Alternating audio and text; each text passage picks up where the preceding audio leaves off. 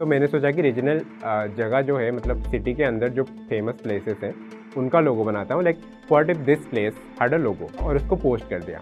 और वो पोस्ट रातों रात वायरल हो गए। इलस्ट्रेशन चल रहे थे अच्छे से, दस हज़ार, बारह हज़ार, तेरह हज़ार, पंद्रह हज़ार फॉलोअर्स आराम से ग्रो हो रहे थे। धीरे धीरे वो मज़ा आना बंद हो गया। मुझे करना ही नहीं था। मैं बस यही चाहता था कि कोई सेलिब्रिटी आए और मैं उसको दे दूँ और मैं फ़ेमस हो जाऊँ, जैसे मैंने आर्ट वाला बंद किया था, वैसे मैंने ये वाला भी बंद कर दिया।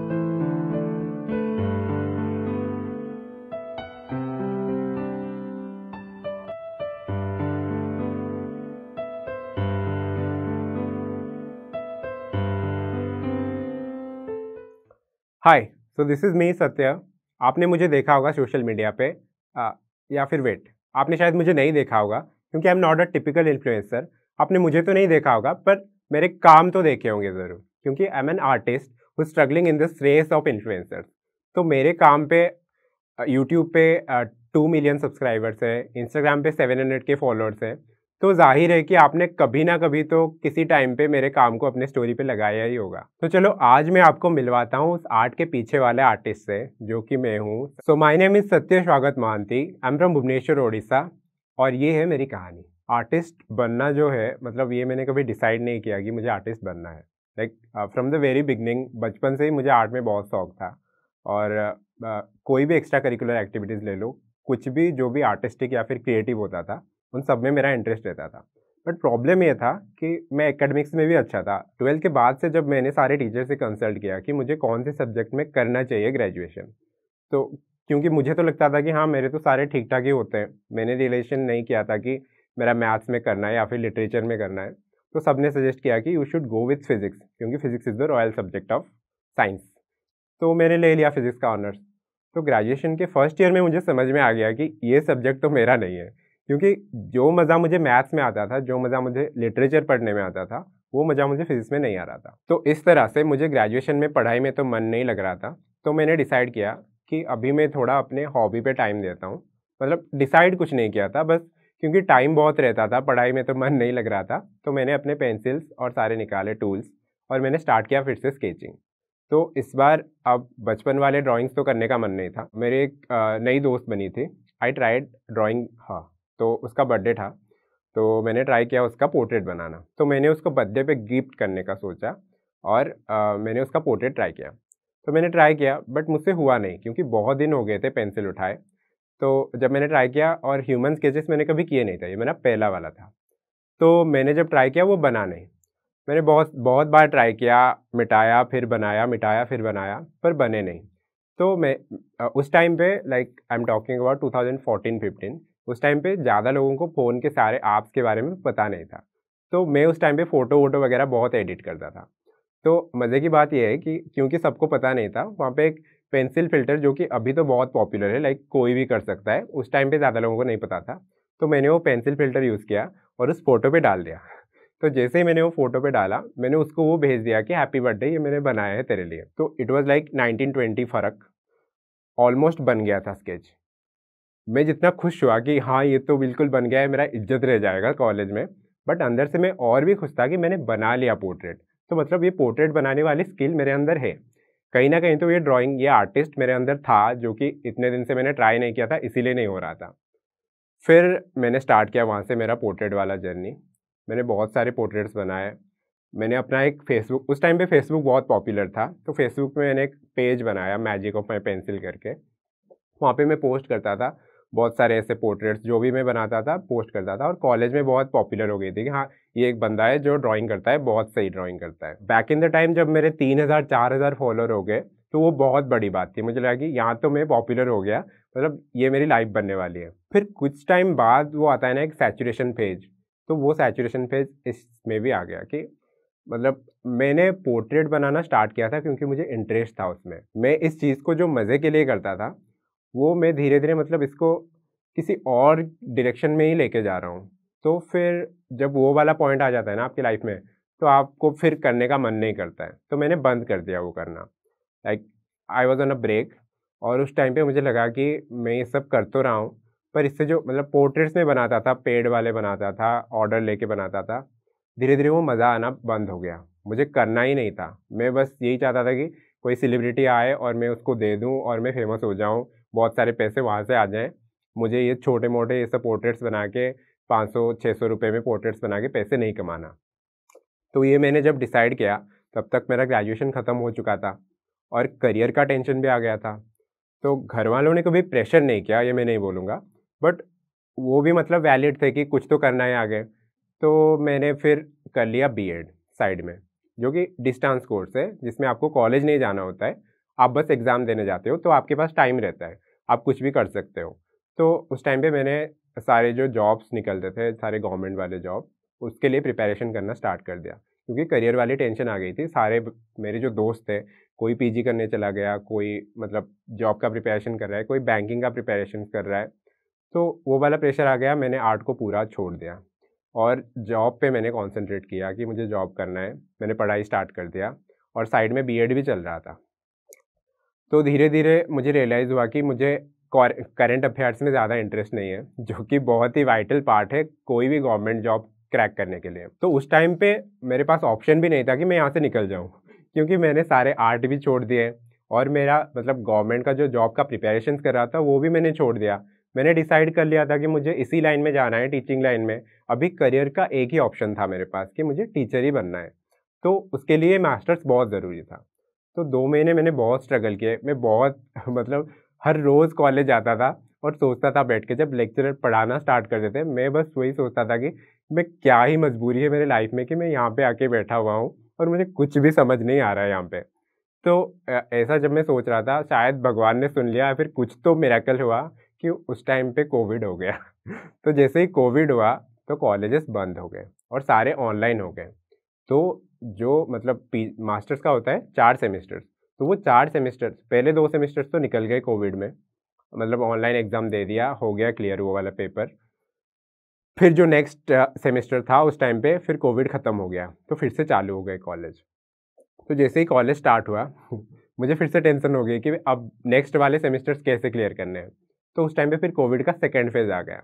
और जब सेकेंड फ़ेज़ आया, वो बहुत मतलब ज़्यादा डेंजरस था। उस टाइम पे शायद बहुत लोग बहुत सीरियस वाले मतलब बहुत सीरियस माहौल था हर जगह। तो जो भी हो, वो वाला मेरे लिए तो थोड़ा ब्लेसिंग्स वाला हो गया। तो मैंने उस टाइम पे डिसाइड किया कि कुछ डिजिटली कुछ करता हूँ। लाइक डिजिटल स्केचेस बनाना तो हमेशा से मुझे फैसिनेटिंग लगता था बट मेरे पास कुछ टूल्स नहीं थे। लाइक मेरे पास पेन टैब नहीं था या फिर पीसी नहीं था, कुछ नहीं था।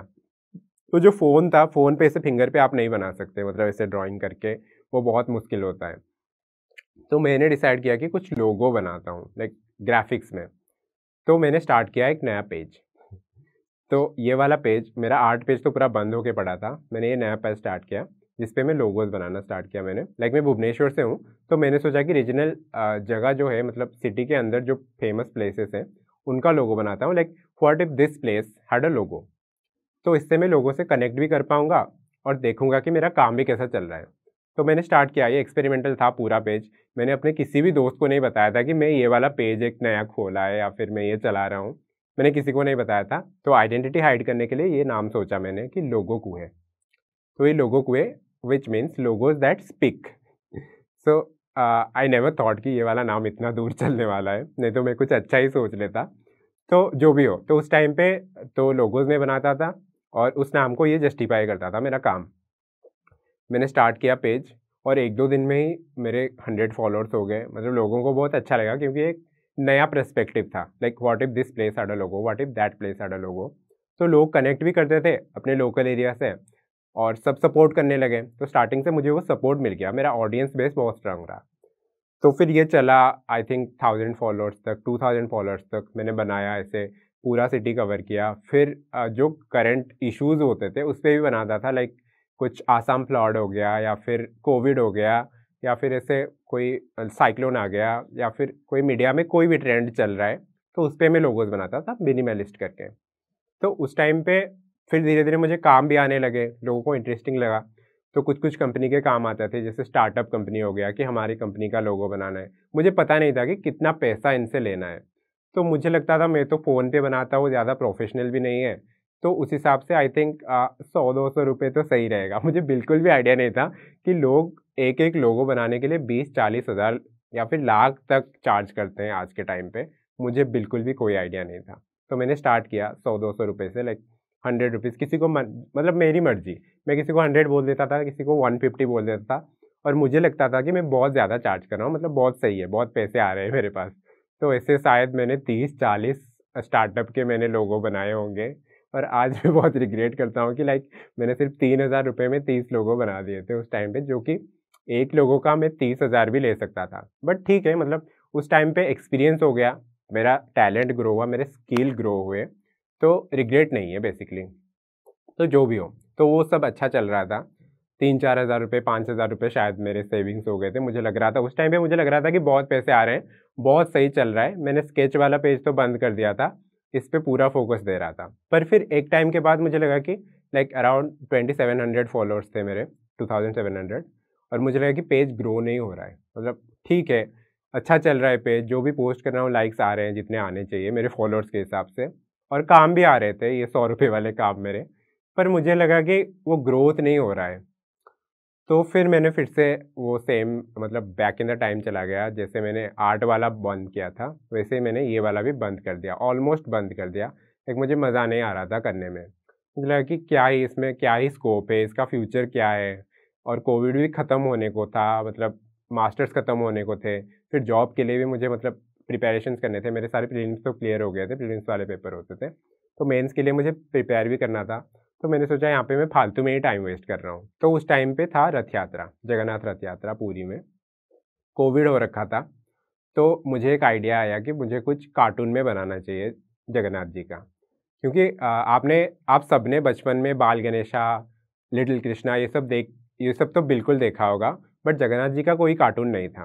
मतलब ये एग्जिस्ट ही नहीं करता है। तो ये मैंने सोचा कि मुझे कुछ बनाना चाहिए। तो फिर मैंने बनाया एक फ़नी वे में कि कोविड की वजह से रथ यात्रा बंद हो गया था तो मैंने ऐसा बनाया कि रथ यात्रा बंद हो गया है और जगन्नाथ जी अंदर बहुत अपसेट हैं। तो वो वाला जो मैंने ड्रॉ किया पहले तो मुझे लगा नहीं था कि मैं ड्रॉ कर पाऊँगा फ़ोन पे पर जब जैसे ही मैंने स्टार्ट किया बहुत सारे अटेम्प्ट लिए जैसे मैंने स्केच पे बहुत फोकस किया था बहुत मतलब आ, मिटाया था बनाया था मिटाया था बनाया था हिट एंड ट्राई करके फिर वो बना था वैसे ही मैंने इस पर टाइम दिया ऑलमोस्ट एक दिन दिया मैं फिंगर पे बनाता था, मेरे पास स्टाइलस पेन नहीं था। मतलब स्टाइलस पेन फ़ोन पे चलते हैं और बहुत अच्छे से चलते हैं, मुझे बिल्कुल भी पता नहीं था ये सब, क्योंकि मेरे सराउंडिंग में कोई ऐसा नहीं था जो ये सब बनाता था। तो बिना किसी गाइडेंस के मैंने, जितना मुझे आता था, मैंने अपने स्किल से मैंने फ़ोन पे बनाना ट्राई किया। एक दिन के अंदर वो बन गया, जो कार्टून मैंने इमेजिन किया था जिस हिसाब से तो फिर मैंने वो बनाया और उसको पोस्ट कर दिया। और वो पोस्ट रातों रात वायरल हो गई। वायरल इन द सेंस ऐसा नहीं कि लाख लाइक्स आ गए या फिर हज़ार फॉलोअर्स आ गए मेरे पास। बट हाँ मतलब रीजनली भुवनेश्वर में उड़ीसा में वो पोस्ट वायरल हो गया। लाइक दस हज़ार अराउंड लाइक्स हो गए उस पर तो मैंने तब सोचा कि इसको एक सीरीज़ की तरह कंटिन्यू करता हूँ, क्योंकि रथ यात्रा नौ दिन तक चलता है। तो मैंने सोचा कि इसे नौ दिन तक कंटिन्यू करता हूँ एज अ कॉमिक सीरीज़ मैंने कंटिन्यू किया, नौ पोस्ट बनाए और उस नाइन पोस्ट से मेरे पास लाइक नाइन पोस्ट एंड होने तक मेरा ट्वेंटी सेवन हंड्रेड से टेन के फॉलोअर्स हो गए। तो that got me again motivation आ गया फिर से कि हाँ ये तो बहुत सही है। अब तो मैं ड्राइंग भी कर सकता हूँ फ़ोन पे। तो मैंने फिर स्टार्ट किया ड्राइंग करना। इलस्ट्रेशन स्टार्ट कर दिया मैंने। इलस्ट्रेशन चल रहे थे अच्छे से। दस हज़ार, बारह हज़ार, तेरह हज़ार, पंद्रह हज़ार फॉलोअर्स आराम से ग्रो हो रहे थे। पेज भी ग्रो हो रहा था। और रिस्पॉन्स भी अच्छे आ रहे थे। तो मैं मतलब मोटिवेशन बना रहा। फिर ये इलस्ट्रेशन वाला तो अच्छा चल रहा था, पर इंस्टाग्राम ने इंट्रोड्यूस कर दिया रील्स तो जब रील्स आ गए तो इसका विजिबिलिटी कम हो गया फ़ीड पे। मतलब सबके फ़ीड पे इलस्ट्रेशन नहीं आ रहे थे। मतलब नॉर्मल पोस्ट नहीं आ रहे थे। फ़ोटो वगैरह मतलब उस पर रीच आना कम हो गया तो फॉलोअर्स फिर से स्टैगनेंट हो गए। तो ये फिर से सेम वाला चीज़ रिपीट हो रहा था मेरे साथ, जैसे स्केच का एक सैचुरेशन पॉइंट आ गया था, फिर लोगों का सैचुरेशन पॉइंट आ गया। अब ये इलस्ट्रेशन जो मैंने नया स्टार्ट किया था, इसका भी सैचुरेशन पॉइंट आने वाला था कि क्योंकि अभी मोटिवेशन नहीं आ रहा था लाइक्स नहीं आ रहे थे तो मोटिवेशन तो चाहिए ना बंदे को अपने काम को कंटिन्यू करने के लिए। बट इस टाइम मैंने डिसाइड किया कि नहीं, अभी इस बार इसका सेचुरेशन पॉइंट मुझे नहीं लाना है तो गिव अप नहीं करना है। तो मैंने अपने आप को अपग्रेड किया और मैंने ट्राई किया कैसे फ़ोन पे मैं एनिमेशन बना सकता हूँ, कैसे मैं इसको वीडियो में कन्वर्ट कर सकता हूँ कि ये लोगों के पास पहुँचे, मेरा काम पहुँचाना इज़ द मेन मोटिव तो मैं वो कैसे भी करूँ। तो मैंने स्टार्ट किया फिर फ़ोन में एनिमेट करना। बहुत टाइम लगा, बहुत बहुत बार अच्छे बने, बुरे बने, बट मैं रुका नहीं। मैंने मैंने बोला कि नहीं, इस बार तो गिव अप नहीं करना है।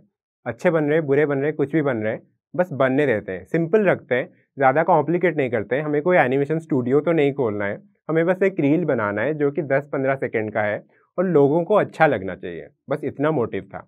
तो मैंने रील्स बनाया और और किस्मत से, लाइक टचवुड मेरे ऑडियंस इतने अच्छे हैं। स्टार्टिंग से एंड तक, आज तक बहुत सपोर्ट किया है उन्होंने। तो रील्स पे भी जैसे मैंने बनाया, मेरे रील्स परफेक्ट नहीं होते थे एनिमेशन फिर भी उन्होंने सेम सपोर्ट दिखाया, बहुत सारे शेयर्स किए, व्यूज़ आने लगे रील्स पे, टेन के, ट्वेंटी के, उस टाइम पे बहुत होते थे, ट्वेंटी के, थर्टी के व्यूज़, हंड्रेड के व्यूज़ टू हंड्रेड के, थ्री हंड्रेड के, अभी तो ट्वेंटी मिलियन तक व्यूज़ जाते हैं, थर्टी मिलियन तक व्यूज़ जाते हैं, बट उस टाइम पे जो ट्वेंटी के, थर्टी के में जो खुशी मुझे मिलती थी ना, वो इस थर्टी मिलियन वाले खुशी से भी और ज़्यादा है, क्योंकि तब मैंने स्विच किया था, मैंने गिव अप नहीं किया था और लोग उसको सपोर्ट भी कर रहे थे। तो फिर जो रील्स मैंने स्टार्ट किया रीच आने लगी। पेज पे ट्वेंटी के थर्टी के फिफ्टी के फॉलोअर्स तक होने लगे। फिर मैंने डिसाइड किया कि यहाँ से कैसे पैसे कमाऊँ। तो वीडियो पे धीरे धीरे रीच जब आने लगे तो ब्रांड्स भी आने लगे और पैसे भी आने लगे। तब मुझे और किसी का मतलब किसी क्लाइंट का लोगो नहीं बनाना था, किसी का इनविटेशन वीडियो नहीं बनाना था, मुझे कुछ नहीं करना था। मुझे बस अपने काम को टाइम देना था अपने वीडियो पे रीच लाना था, व्यूज़ लाने थे और ब्रांड्स ऑटोमेटिकली आने ही वाले थे। वो मुझे समझ में आ गया कि एक चीज़ जो मैं मिस आउट कर रहा था स्टार्टिंग से एंड तक, जो मेरी गलती थी कि मैंने स्केच वाले पे भी सैचुरेशन पॉइंट पे मैंने छोड़ दिया वो करना, फिर लोगो वाले पे भी सैचुरेशन पॉइंट पे मैंने छोड़ दिया, फिर ये इलस्ट्रेशन वाले पे मैंने नहीं छोड़ा। मैंने इसको कंटिन्यू किया, मैंने इसको कन्वर्ट किया एनिमेशन में, मैंने इसको अपग्रेड किया और मेरे आर्ट ने मुझे अपग्रेड किया। तो मैं ये सोच रहा हूँ कि शायद अगर मैं वो स्केच को भी नहीं छोड़ता, मैं उसको कंटिन्यू करता सेचुरेशन पॉइंट के बाद भी, अगर टाइम देता तो शायद वो उसमें भी मैं यहाँ तक पहुँच ही जाता। क्योंकि लाइक कोई भी चीज़ हो, ये मुझे समझ में आ गया है कि कोई भी चीज़ हो, अगर आप मन से कर रहे हो, पूरा टाइम उसको दे रहे हो डेडिकेशन दे रहे हो तो ये हो ही नहीं सकता कि आपका ग्रोथ रुक जाए। एक एक पॉइंट आएगा, जब आपको लगेगा कि ये चल नहीं रहा है बट वहाँ पे आपको रुकना नहीं है। आपको फिर भी कंटिन्यू करना है, अपने आप को मोटिवेट करना है। कोई दूसरा करे या ना करे, आपको खुद को मोटिवेट रह के उसको कंटिन्यू करना चाहिए। अगर मैं वो ना करता तो फिर शायद मैं फ़ोन से आईपैड तक नहीं आ पाता। मेरे जो टेन के ट्वेंटी के फॉलोअर्स थे, वो अभी सेवन हंड्रेड के तक नहीं आ पाते थे। या फिर मेरा यूट्यूब पे अभी दो मिलियन के अराउंड सब्सक्राइबर्स हैं। वो यूट्यूब जर्नी जो मैंने स्टार्ट किया तो वो यूट्यूब वाला जर्नी ज़्यादा डिफ़िकल्ट तो नहीं था, क्योंकि इंस्टाग्राम पे मेरे ऑलरेडी फॉलोअर्स थे। बट वो ईजी इसीलिए नहीं था क्योंकि मैं आलसी हूँ। तो मैं वो वीडियो जो मेरे पास ऑलरेडी है, उसको बस यूट्यूब पे डालना होता है। उतना भी नहीं कर पाता था टाइम निकाल के। तो यूट्यूब पे भी अभी जो मेरे दो मिलियन सब्सक्राइबर्स हैं, वहाँ पे भी सेम वाला इशू हुआ था। जब मैंने यूट्यूब का पेज खोला, मेरे इंस्टाग्राम पे शायद उस टाइम पे 300 के या फिर 400 के फॉलोअर्स थे। तो मैंने जब यूट्यूब स्टार्ट किया, मैंने सोचा था, एकदम से मेरे तो अच्छे वीडियोज़ हैं इंस्टाग्राम पे इस पर मिलियन व्यूज़ आ रहे हैं। तो यूट्यूब पर भी आने चाहिए। पर जब मैंने यूट्यूब पर डाला, ऐसे हज़ार व्यूज़ टू थाउज़ेंड व्यूज़ इतना ही आता था। तो वहाँ पर मतलब मन नहीं करता था कि पोस्ट करूँ मोटिवेशन नहीं आ रहा था। पर फिर मैंने, मैं जब भी मेरे लाइफ में मोटिवेशन कम होती है, मैं वो वाला फ़ेज़ याद करता हूँ कि कैसे मैंने खुद को मोटिवेट करके वहाँ से रील तक लाया और इसीलिए मेरा ग्रोथ हुआ। तो शायद इस पर भी और थोड़ा टाइम दे दूँगा तो ये भी हो जाएगा। तो मैंने दिया फिर यूट्यूब को टाइम मैंने रोज़ पोस्ट किया व्यूज़ नहीं आ रहे थे लाइक्स नहीं आ रहे थे, फिर भी मैंने किया। मैं बस खुद को मोटिवेट करता था कि अभी नहीं आ रहे आएँगे, ज़रूर आएँगे मतलब एक दिन तो आना ही है। तो मैंने पोस्ट किया। कंसिस्टेंसी जब मैंने रखा, एक दो महीने बाद एक रील एक शॉर्ट वीडियो मेरा चला गया वायरल फिर धीरे धीरे लोग आए पेज पे, देखे सब्सक्राइब किए। अभी यूट्यूब पे एक साल के अंदर ही मेरा दो मिलियन सब्सक्राइबर्स हो गए हैं। तो मेरे स्टोरी का कंक्लूजन बस इतना है कि सैचुरेशन पॉइंट्स तो आते ही रहेंगे आपके लाइफ में। बट अगर आप वहाँ पे हार मान गए ना तो बिल्कुल आगे नहीं बढ़ पाएँगे। तो हर सैचुरेशन पॉइंट पे हमें बस इतना बोलना है कि मैं कर सकता हूँ और मैं कर लूँगा। और जब आप खुद करोगे ना तो पूरी किस्मत पूरी कायनात सब आपके साथ देगी जैसा मेरे साथ दिया। ये टॉक देखकर हमने एक कदम बढ़ाया है फाइनेंशियल आज़ादी की ओर। इसी तरह अब कदम बढ़ाते हैं बहुत सारी सेविंग्स की ओर। और, और पाते हैं कैशबैक अपने हर ऑनलाइन ऑर्डर पे। आप फ्लिपकार्ट मिंत्रा एमेजोन नाइका जैसी वेबसाइट पर तो खर्चा करते ही होंगे। कैश करो ऐप पे आपको इन सभी वेबसाइट पर और अन्य 1500 ब्रांड्स पर 50% तक का कैशबैक मिलता है। हमें बस कैश करो ऐप पे जाना है। वहाँ से फ्लिपकार्ट या अन्य कोई भी ब्रांड सिलेक्ट करना है। हमें हर बार की तरह ही शॉपिंग करनी है, लेकिन इस बार मिलेगा कैशबैक ये कैशबैक आपके हर शॉपिंग पे मिलेगा। और वो कैशबैक होगा सभी ऑफर्स डिस्काउंट सेल्स या स्पेशल ऑफर्स के डिस्काउंटेड अमाउंट के ऊपर। ऑर्डर प्लेस करने के बाद ये सारा कैशबैक आपके कैश करो वॉलेट में ऐड हो जाएगा। जो कंफर्मेशन पे आप बहुत आसानी से अपने अमेजोन पे फ्लिपकार्ट गिफ्ट कार्ड या बैंक अकाउंट में भी सीधा ट्रांसफ़र कर सकते हैं। तो ये आदत डाल लो। पहले कैश करो पे आओ यहाँ से किसी भी साइट पर जाओ और अनलिमिटेड सेविंग्स पाओ। तो कैश करो ऐश करो। Click on the link in description and download cash करो ऐप नाउ इस वीडियो के बारे में अपनी राय नीचे कमेंट सेक्शन में हमें बताएँ और अपने दोस्तों के साथ ये वीडियो शेयर करना ना भूलें।